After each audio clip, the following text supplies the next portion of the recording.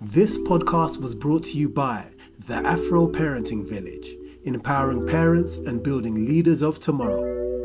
Hey guys, welcome back to this APV podcast, and I am joined with by my beautiful guest one more time, who was here initially to give us the six steps of intentional parenting. As promised, we said the next episode was going to be about delving into the first point, which was identify. Lady Andrea, you are welcome. Thank you very much. Akwaba. That's it. Hey, why are you? I'm trying, I'm trying, I'm You're trying. you're trying. Which one, which one, which You know, you know. I'm, I'm coming to the tree classes Come, soon, don't come. worry. Yes, she's invited. so, girl, when you were here the last time, it was crazy because it just blew my mind. Everything that you'd spoken about, and I know it probably took quite a while to be able to sit down and come up with these six steps. Mm. But as you were talking, even as myself, a parent, I could see how going through those six steps diligently would really help you evolve through your parenting. Mm. I want to find out now how you came up with that first step, identify.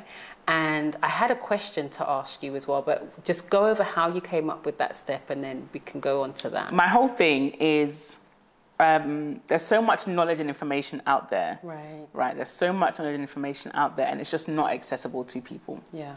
And that's something that really bothered me when I got into academia is the information that's there is information that can help our communities, that can help you in a day-to-day kind of like life in any any department, Right. right? Now we are bombarded with so much information in this information age, but what you actually need is very difficult to actually navigate it and to mm-hmm. identify and to find it. Mm-hmm. So I was like, I don't think it's fair that this knowledge and information is there, mm-hmm. but unless you're in academia or unless you know where to go specifically looking for it, you can't even find it. Right. Does that make sense? Yeah. So th- for me, it was just about bringing this knowledge and these very kind of basic things that you could be doing Right. that when, when, when I explain it to people, they're like, yeah, yeah, that makes sense, get it. right? But it's something that has never really been taught to us. Yeah. So for me, I wanted to bridge that gap Mm-hmm. in knowledge, which is why I even started the whole research center, which is about bridging that, that gap Right. with there are solutions to every problem that we have. And I said before in the previous episode, we don't have those solutions because people don't want us to have those solutions. Right, right. There's no other way around it. Right. So with somebody who has gone to that side of the fence and come like I'm still in my community. Mm-hmm. Yeah. Does that make sense? I'm like, I'm going to bring that knowledge Yeah. I'm going to bring it Yeah. to my people Yeah. because we need it. Yeah. And you know, our whole mental, emotional, spiritual liberation comes from being informed. Mm-hmm. So now, you know, you can spend hours on TikTok or whatever and not even get anything out of it. But if you know what to type in, Mm-hmm. You can get so much information. Does that make sense? So for me, it was about bridging that gap, bridging that knowledge gap, and trying to make this information that's actually really easily digestible. There is, of course, more complicated stuff when I start talking about how neural pathways are formed and all that stuff. But you don't even need to know all of that. Right. All you need to know is give a child eye contact for 15 minutes a day, Right. and your child won't be a sociopath. Right, right, right, right. That's actually all it takes. yeah, yeah, yeah. Because it's that need and affection and the want. yeah. I'm going to peel it back a little bit more, even. So, when you talk about a lot of parents not even knowing where to find it and how we've been conditioned, there's something that you touched upon where you said, as people, we have a need that is. It's almost holistic. Mm. So you have like an emotional, a mental need, a spiritual need. Mm-hmm. And whether we like it or not, we live in a, in a society or an environment where it has a mantra mm-hmm. that isn't necessarily spelled out, like mm-hmm. how you talk about intentional parenting. Mm-hmm. So people want to become parents for any given reason, but haven't really considered why. Some people would say it happens to them. Some people would say they were expected to tick a box when they got to a certain age. Some people would say it was expected of them because of their society. What would you say to people before they become parents? Because I think that is a really important place to even consider or to start? What are the things that people should be considering from age dot, from the time you say, oh, when I grow up, I want children? Like, you know, as you evolve, what are some of the things that you should be thinking about? Number one is why. Why do you want to be a parent? Right. Right. Because, like you said, people want to be parents for lots of different reasons. Mm. I see all the time people saying, you know, if you don't have kids, who's going to look after you when you're old? Mm-hmm. Um, nursing homes is a whole thriving business model because nobody is looking after you when you are old. That's so true. right? In an increasingly globalized world, most people are not living, we're not living in compounds mm-hmm. with generations and generations like that anymore. Mm-hmm. So if you want to have a child because you feel like a child will take care of you when they are older, mm-hmm. that's not a viable reason to have a child. too. even if that's your reason for having a child, if you do not nurture a relationship with your child, they are in a rush to get away from you mm-hmm. as soon as possible. Mm-hmm. Mm-hmm. Do you understand? So, whatever, you know, I always say to people as adults, our internal voice is the voice of our parents, Yeah. right? For better or for worse. Yeah. So, if your if your internal voice is full of doubt and full of um, negative thoughts, it means that your parents are probably very negative towards you. Yeah. Anytime you made a mistake, they would highlight the mistake and highlight the mistake and highlight the mistake. And it makes you not even want to try and do anything. Mm-hmm. So, what, what is your reason why? And two, are you ready? Mm. Are you emotionally ready to have a child? Mm. And do you have the support system that you need to have a child? Because it takes a village It does. right? And there's absolutely so many different things that can come up when you have a child that if you don't have that support system in place, you know, it's difficult. Mm. And you know, we live in a world now where you can hire your support system, and you know, I'm not going to say you should or you shouldn't do that. There's pros and cons to both, right? So from like I believe that grandparents are always going to be grandparents and do their grandparently duties. Um, if you want your child raised in a specific way, and you want to have a hire nanny to do that, might be easier to do that because your grandparents aren't now going to adopt your new, your new age parenting tactics. Let them be the grandparents that spoil the children. Understand? Don't don't have children with the intention that hey, my grandparents, my parents are going to be the ones that are going to raise them. So you have to be ready, and you have to be doing it for the right reasons. Right. No, I really love that. So just be considered, be informed, well researched, so you know exactly what you're going Exactly. into. Okay. So you know that for yourself. And also the context that you're living in, to Right. have realistic expectations for the Yeah. context that you're living in. Right. Right. And the needs of the needs of your child, the needs of yourself. Mm-hmm. It's a holistic thing, like you said. You have to make sure you're able to meet your child's physical needs, Yeah. emotional needs, spiritual needs, social needs, intellectual needs. Mm-hmm. You have to be able to meet all of their needs. And it's a lot of responsibility. It's not It something is. to take lightly. at all. And then, of course, even on yourself, your your parents' voice being your inner voice, there might be certain things that you need to work on that you had faced as a child. Exactly. So there's all of that, right? So in terms of then, you've identified all of these things, and you're going into parenting with the things that you have just spoken about um, a minute ago. How does that look like when you put it into action? Okay, so the first step of the framework is identify, which is about identifying your parenting philosophy. Right. So, um, that, like in the program, there's some prompts, some questions that I ask. Okay. Um, and it actually begins with you reflecting on your own childhood. What was your childhood like? How would you describe your childhood? Right. Right. And you have to rely on your memory. You have those memories for a reason, right? So some of us have blocked out memories. Some of us have very, very vivid memories. Some of us have no memories, right? And it's a little bit of an investigation into why that happens. And you know, everything happens in cycles. The brain is a very amazing thing. And memories can come and just slap you any time without you even realizing. Unawaringly, yeah. Right? Any point in your time, you could be driving along and some random memory, hey, It's come. where did this come from? Yep. Right? Or sometimes this, you can even react to a situation and ask yourself, why did I react that way? Not knowing you're still being haunted by whatever. Exactly. Yeah. So identifying your parenting philosophy is ultimately about what type of parent do you want to be. Right. One of the questions I ask is: Imagine your child is doing like a, like a very significant event. Mm-hmm. Okay. People normally say weddings, but I don't want to focus on weddings. It can be a wedding. It can be the launch of their their, their, their multi-billion pound company. It can Right. be anything. Yeah. Right. And in their speech, what do you want them to say about you? Mm-hmm, mm-hmm. Do you understand? What do you want them to say about you as a parent? Mm. Right? And how you help them to achieve whatever it is that they wanted to achieve. Mm-hmm, right? So what type of person are you trying to raise? Mm. Right? How do you want your children to speak of you? Like how do you want your child to feel about their position in the world? Right? And these are very, very big questions. They are, but I think they're questions that need to be asked. Exactly. And, yeah, and the thing, hmm, I could see how we're so aligned because one of the questions that we ask people that's very similar is how do you want to be remembered? Yes. And every time that question is asked, sis, they almost take a deep breath, sit back, and they're like, "This is what this is all about." Yeah, the, Mm. Yeah. What, what you do leaves a mark. It's, it's yeah, Hundred percent. Yeah, Because you know we're Africans, Yeah. right? So you have a duty. hey, Right, you have a duty to take care of your parents. But Yeah. you can take care of your parents in lots of ways. You Yeah. can pay somebody to look after your parent here. Yeah. You can say, I'm going to bring my parent here. Yeah. You can involve your parent, and all of those things is a result of how you interacted with your child Yeah. as they were growing up. Yeah. Yeah. Right, and whether or not you were there for them in those key moments. And those key moments, you know, includes things like their football games or drum Mm. performances, but it's also things like when they were doubting themselves, right? When they were having conflict with their friends or when they were having conflict even with their boyfriend or their girlfriend, were you there? Mm-hmm. Yeah. Did they feel like they can come to you and say, Mum, Dad, help me figure this out? Yeah. Right? Are you a parent who has always giving a space, giving space to your child to figure out their thoughts and to sit with their feelings? Or have you always been a parent who you expect your child to always be regulated? You mm-hmm. can't even regulate your own emotions. absolutely. You can't, like, as adults, we, we can't regulate our emotions. When you're a little bit tired, you're moaning at your partner for every little thing. Yeah.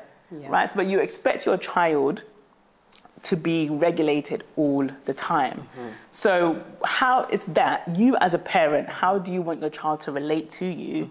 And then what are you going to do about that? Mm-hmm. Right. And it, it's a very deep question. Yeah. Right? So, in that process, identifying that as a couple, Mm-hmm. right? And there, t- there are places where you would agree, and there are places where you might not agree. Mm-hmm. So, what I tend to do when I'm doing it with two parents is I ask them to write it on separate lists. Right. Right. So, we also, I also say to them, like, okay, if I said to you, um, clear your mind, Mm-hmm. okay, what's the first word that comes to your mind when you, when you hear the word child?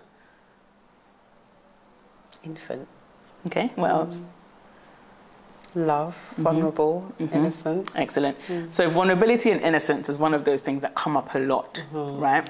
So if you believe a child is vulnerable and innocent, or let's go with the word innocent. If you believe a child is innocent, when do they stop being innocent?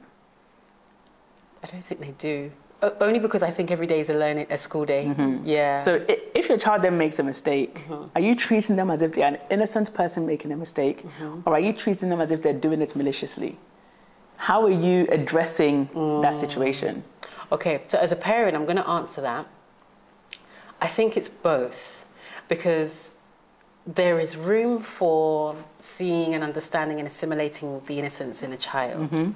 And then there is a place where the child has gotten to a stage where you can communicate and make an agreement about mm-hmm. what's expected of them and what's expected of you. Mm-hmm. So with us, if our children do something wrong and they accept that they've done something wrong, we then have to discuss that, and then they have to apologize with an explanation as to how that's not going to continue again. So that's almost teaching accountability. Uh-huh. Um, so it's a fine, it's a very fine line. Exactly. Eh. So if your two-year-old does something, your two-year-old comes in. There's, the, there's the, I saw this video t- today actually, where I think they were doing like a get ready with me or like a video of them recording their house. And their toddler came in and sprinkled flour all over the living room, and the parent got upset at the toddler. And I'm like, it's your own fault. yeah, Why is a flour within reach of a two-year-old? right. right? Right. But you are annoyed that this mess has been made, Mm-hmm. Yeah, but you were shouting at the two-year-old. yeah, But who are you annoyed at? yeah, Does that make sense? Yeah. Who are you annoyed at? Are you annoyed at yourself? yeah. Are you annoyed at the mess? Yeah. Are you annoyed at the two-year-old? it's all of it. Do you understand? And the child has now become the punching bag. Do you understand? Yeah. Because the child say, do you know what? I see this bag of flour. Yeah. I see my hard-working father is hoovering this place.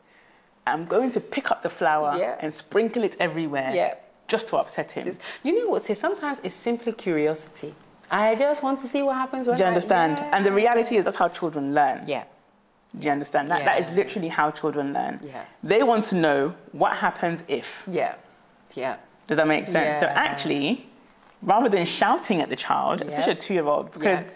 once you start shouting, all you're doing is startling them. yeah, Right? You're putting them on timeout, you're telling them off. This is all about you. yeah, yeah, Do you understand? This is Yeah. all about you. Yeah. They are a two-year-old, Yeah. right? They, they don't even have the, the coordination to even, even put their hand in and sprinkle it small, small. Yeah. They just held the thing, they're running around, it's sprinkled everywhere. They are even surprised. yeah, yeah. Do you understand? So it's really about you understanding what's going on with that child. So mm. th- that, that kind of leads into the third step, the theorized step, which is where you have more of a realistic expectation mm. of the child and what they're doing. But as you're saying, when your child is doing something, you are stepping back in terms of okay, if your child has spoken back about something, right? I mean, we all have those moments, right? Where a child is cheeking, you're like, mm, you're getting a bit bright, you know, Yeah. like where's all this attitude coming from? But you're saying that you want your child to be outspoken. You mm-hmm. want your child to speak out against injustice. Mm-hmm. So if they feel like something is unjust, mm-hmm. again, they don't have the self-regulation skills, so they might not have addressed it in the right way. Right.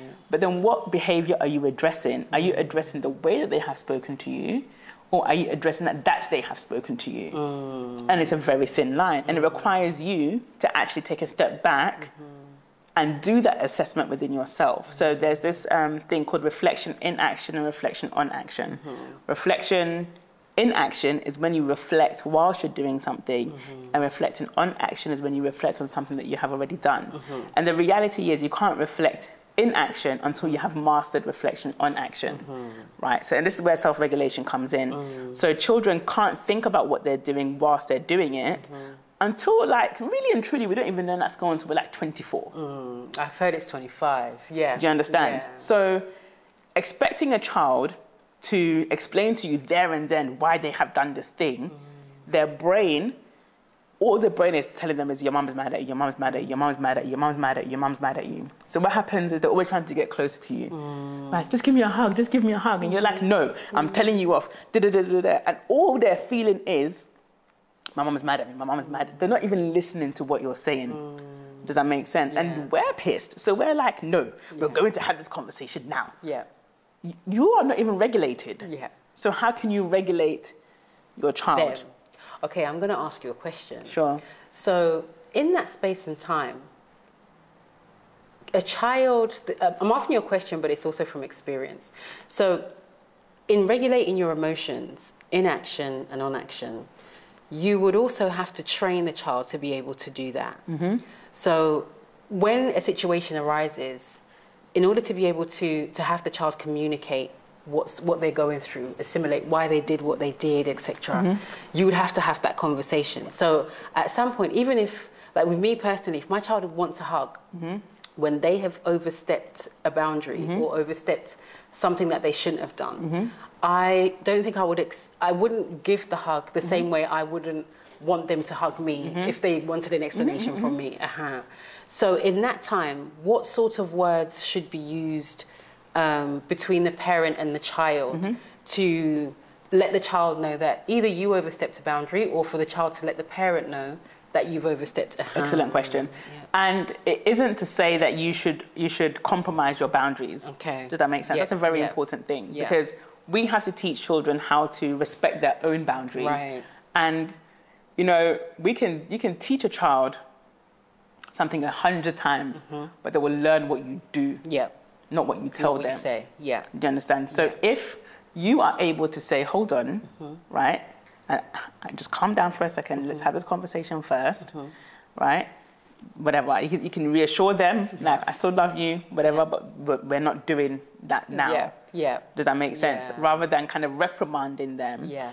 Because what's going on in their brain, Mm-hmm. what's going on in their body, their nervous system is dysregulated. Mm-hmm. So trying to get them to calm their nervous system Mm-hmm. is important. And you also have to calm your nervous system because they are attuned to you. Yeah. Does that make sense? Yeah. So they are picking off, they're picking up off of your, Your dysregulation yeah. and it's dysregulating them. So you can say to them, I need a minute. Right. And it makes it okay for them to say, I need a minute. Right, right. that make sense? Yep, absolutely. Yeah.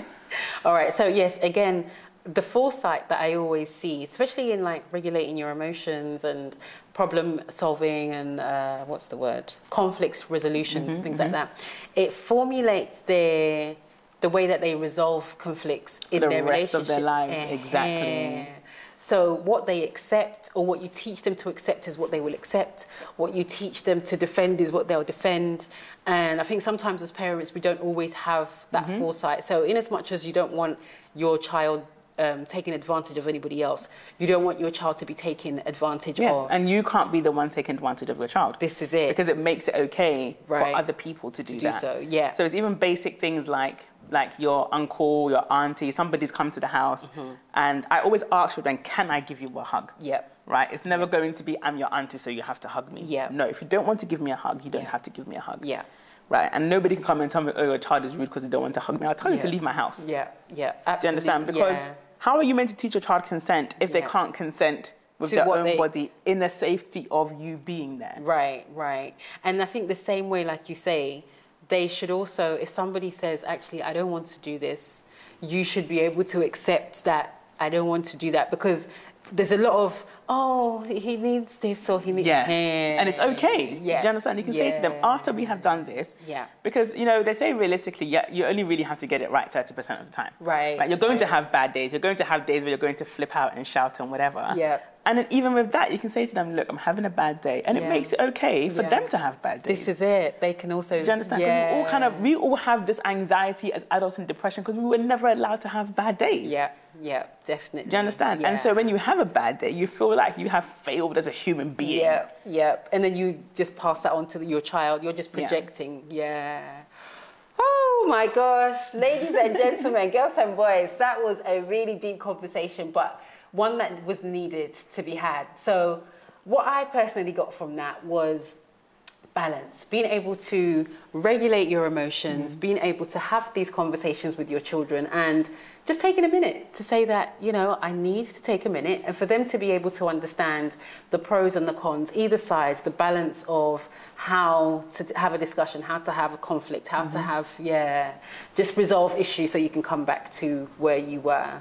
Um, and that's the core. So always get that child to centerize and yeah, focus on the core. Andrea, I can't thank you enough for this. I'm saying this, but I'm sure you guys are you're going away with so much more. if you can, let us know exactly what you went away with. Like she said, it takes a village to raise a child. We're doing this together. There is going to be ups and downs, but we're here to support. Andrea, thank you so much. No problem. Yes, and we will see you in the next one. We do our traditional two taps on the shoulder, finger wave, and we say, Echo. This podcast was brought to you by the Afro Parenting Village, empowering parents and building leaders of tomorrow.